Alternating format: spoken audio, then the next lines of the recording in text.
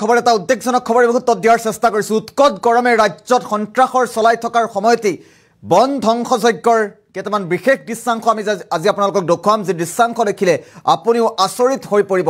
ৰাষ্ট্ৰীয় ঘাইপথ সম্প্ৰসাৰণৰ নামত কিদৰে বৃহৎ বৃহৎ প্ৰকাণ্ড গছ কাটি তহিলং কৰি দিছে দৃশ্যাংশকেইটা এই মুহূৰ্তত আমি দেখুৱাব বিচাৰিছোঁ। এটা ব্ৰেকিং নিউজ এই মুহূৰ্তত এফালে উৎকট গৰম আৰু আনফালে অসমত চলিছে বন ধ্বংসযজ্ঞ। কাটি তহিলং কৰি দিছে। হাজাৰ হাজাৰ প্ৰকাণ্ড গছ। দৃশ্যাংশ দেখিলে আপুনিও আচৰিত হৈ পৰিব। ৰাষ্ট্ৰীয় ঘাইপথ সম্প্ৰসাৰণৰ নামত কাটি তহিলং কৰা হৈছে বৃহৎ বৃহৎ গছ। গোলকীয় উষ্ণতা বৃদ্ধি হোৱালৈও ভূক্ষেপ নাই একাংশৰ। কাটি তহিলং কৰি দিয়া হৈছে বৃহৎ বৃহৎ গছসমূহ। চাৰি মাহত আঠ হাজাৰ গছ কটা হ'ল ৰাষ্ট্ৰীয় ঘাইপথ সম্প্ৰসাৰণৰ নামত। দুধনৈৰ ৰাষ্ট্ৰীয় ঘাইপথৰ সমীপত চাৰি মাহ পূৰ্বেই এই বন ধ্বংসযজ্ঞ চলিছে। আৰু বৰ্তমান মুহূৰ্তত এতিয়া বন ধ্বংসযজ্ঞৰ ফলত হাহাকাৰ কৰিছে পথচাৰীসকলে। দৃশ্যাংশ আছে আমি পোনে পোনে দৃশ্যাংশ দেখুওৱাৰ চেষ্টা কৰিম। কিদৰে বন ধ্বংসযজ্ঞ চলিছে এই মুহূৰ্তত দৃশ্যাংশটো দেখুওৱাৰ চেষ্টা কৰিম।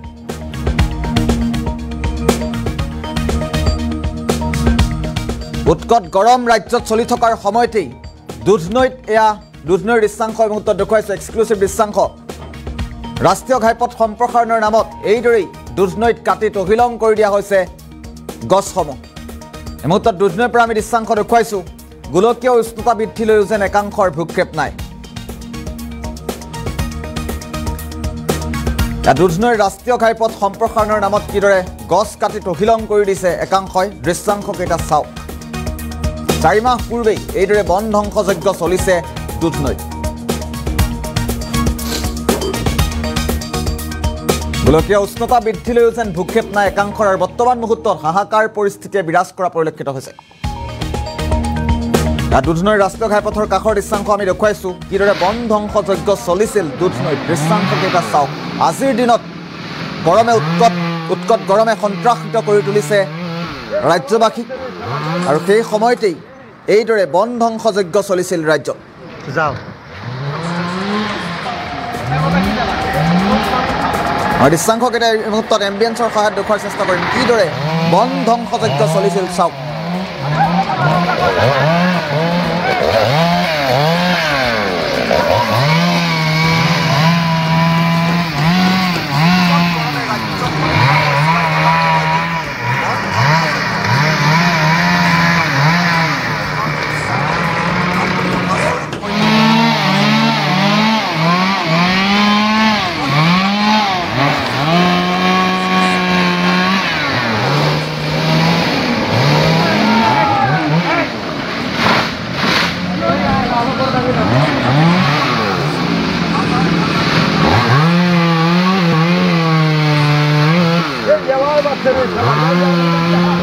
আৰু ইয়াত দুধনৈৰ দৃশ্যাংশ এই মুহূৰ্তত আমি দেখুৱাইছোঁ। দুধনৈত কিদৰে বন ধ্বংসযজ্ঞ চলিছে?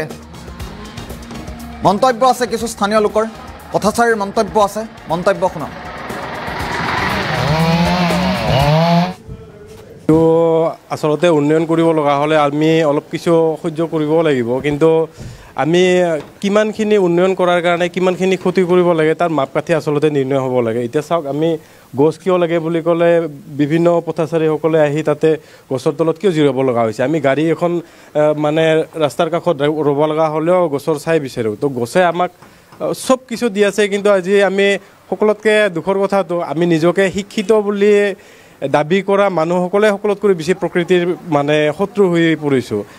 মানে সজা গাঁৱলীয়া মানুহতকৈ আমাৰ যিকেইটা শিক্ষিত সেই শিক্ষিত চামেহে বেছি মানে প্ৰকৃতিক ধ্বংস কৰি আছে। আগতে যদি মানে কৰতেদি যদি কাটিছিল বা দা কোঠাৰেদি যদি গাছ কাটিছিল তেতিয়া সেই গছবিলাক আমি মেচিন লগাই বা জে চি বি লগাই উভালি মানে শেষ কৰিছোঁ। তো তাৰ ফল আমি এতিয়া কিতাপত আগতে পঢ়িব পৰা যিটো গ্ল'বেল ৱাৰ্মিং বা ক্লাইমেট চেঞ্জ এতিয়া আমি হাতে হাতে পাইছোঁ। এতিয়া ৰ'দত আমি থাকিব নোৱাৰা অৱস্থা আমাৰ বৰ্তমান পৰিস্থিতি হৈছে। এতিয়া দুধনৈ নিচিনা ঠাইত ফৰ্টি ফৰ্টি ওৱান টেম্পাৰেচাৰ চুইছে। তো এইবিলাক আমাৰে কৰ্ম এই কৰ্মৰ ফলে আমি এতিয়া ভোগ কৰি আছোঁ।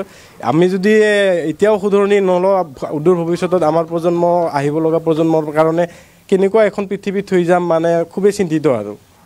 উন্নয়নটো হৈ আছে আৰু গছ গছনিও সেইমতে কাটি আছে কিন্তু তাৰ বিকল্প যিখিনি ব্যৱস্থা কৰিব লাগে সেইখিনি আমি সঠিকমতে কৰিব পৰা নাই। যিখিনি গছ কটা হৈছে সেই হিচাপত আমি আৰু ৰুব লাগিছিলে। কিন্তু আমি সেইখিনি সিমানখিনি কৰিব পৰা নাই। ৰাইজে হওক বা চৰকাৰে হওক গতিকে সেইটো আমাৰ এটা বিফলতা বুলি আমি ক'ব লাগিব।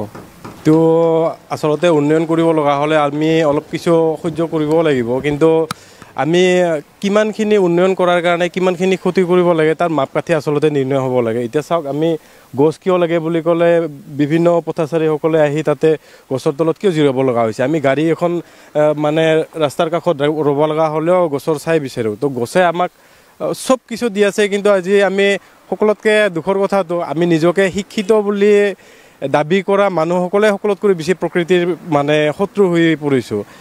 মানে সজা গাঁৱলীয়া মানুহতকৈ আমাৰ যিকেইটা শিক্ষিত সেই শিক্ষিত চামেহে বেছি মানে প্ৰকৃতিক ধ্বংস কৰি আছে। আগতে যদি মানে কৰতেদি যদি কাটিছিল বা দা কোঠাৰেদি যদি গাছ কাটিছিল তেতিয়া সেই গছবিলাক আমি মেচিন লগাই বা জে চি বি লগাই উভালি মানে শেষ কৰিছোঁ। তো তাৰ ফল আমি এতিয়া কিতাপত আগতে পঢ়িব পৰা যিটো গ্ল'বেল ৱাৰ্মিং বা ক্লাইমেট চেঞ্জ এতিয়া আমি হাতে হাতে পাইছোঁ। এতিয়া ৰ'দত আমি থাকিব নোৱাৰা অৱস্থা আমাৰ বৰ্তমান পৰিস্থিতি হৈছে। এতিয়া দুধনৈ নিচিনা ঠাইত ফৰ্টি ফৰ্টি ওৱান টেম্পাৰেচাৰ চুইছে। তো এইবিলাক আমাৰেই কৰ্ম। এই কৰ্মৰ ফলে আমি এতিয়া ভোগ কৰি আছোঁ। আমি যদি এতিয়াও শুধৰণি নলওঁ অদূৰ ভৱিষ্যতত আমাৰ প্ৰজন্ম আহিব লগা প্ৰজন্মৰ কাৰণে কেনেকুৱা এখন পৃথিৱীত থৈ যাম মানে খুবেই চিন্তিত আৰু। উন্নয়নটো হৈ আছে আৰু গছ গছনিও সেইমতে কাটি আছে কিন্তু তাৰ বিকল্প যিখিনি ব্যৱস্থা কৰিব লাগে সেইখিনি আমি সঠিকমতে কৰিব পৰা নাই। যিখিনি গছ কটা হৈছে সেই হিচাপত আমি আৰু ৰুব লাগিছিলে। কিন্তু আমি সেইখিনি সিমানখিনি কৰিব পৰা নাই।